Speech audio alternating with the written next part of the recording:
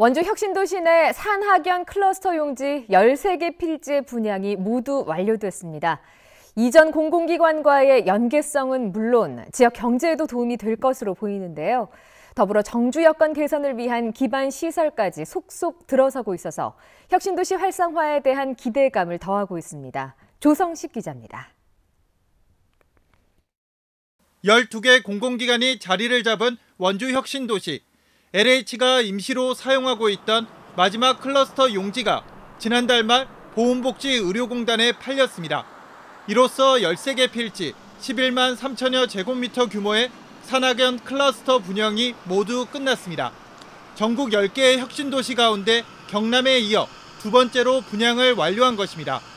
클러스터 부지에는 복합혁신센터와 지식산업센터, 종합병원과 업무 시설, 실내 촬영장 등이 들어섭니다.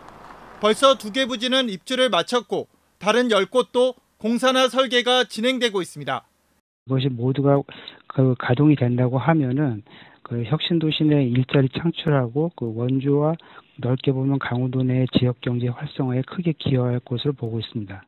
이와 더불어 혁신도시 내 정주 여건 개선을 위한 기반 시설들도 하나둘 갖춰지고 있습니다. 올해 6월 육아종합지원센터에 이어 9월에는 로컬푸드 직매장이 문을 열었습니다.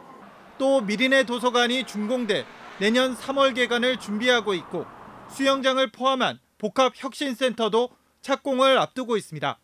혁신도시에 대한 성과 확산을 하기 위해서 그 부족한 그 정주 여건을 개선하는 사업으로서 이제 이주율이라든가 그다음에 이제 문화라든가 교육이라든가 이런 공간을 실제로 혁신도시 이전 기관 임직원들한테 마련해 주기 위해서 하지만 원주혁신도시 내 상가 공실률은 지난해 12월 기준 58%이며 최근 코로나19 사태로 더 나빠졌습니다.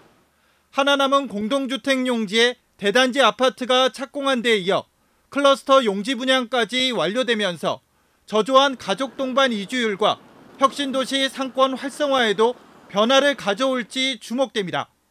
MBC 뉴스 조성식입니다.